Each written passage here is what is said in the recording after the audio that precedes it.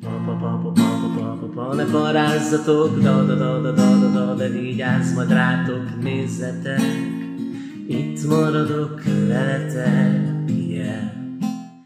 Edward T. Hall rejtett Dimenziók című művében a tér használatának rejtett szubkulturális és interkulturális dimenzióit tanulmányozta a kommunikáció interpersonális és össztársadalmi kontextusában.